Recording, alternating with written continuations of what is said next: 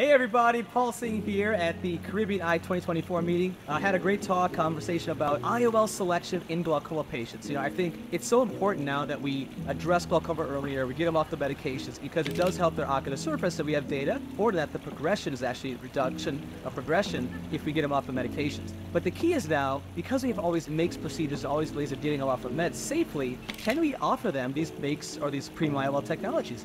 Absolutely. The low-hanging fruit is getting rid of astigmatism. Anybody out there thinking about glaucoma which pre-IOL, take care of the astigmatism.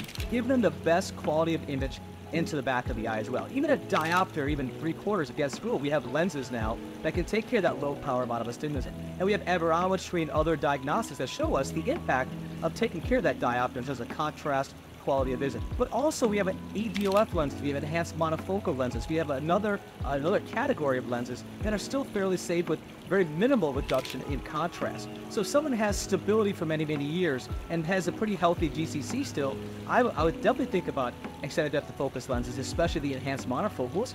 And even in those patients who have been stable for many years and you think they're going to be off of medications for a long time, even a multifocal lens could be an opportunity as well. So I think the most important thing to think about is how they progressed, have they been stable for a while, what's the status of their ganglion cell complex, regardless of their field, the ganglion cell complex is still pretty healthy. That's a patient who probably could get a multifocal or extended depth of focus lens.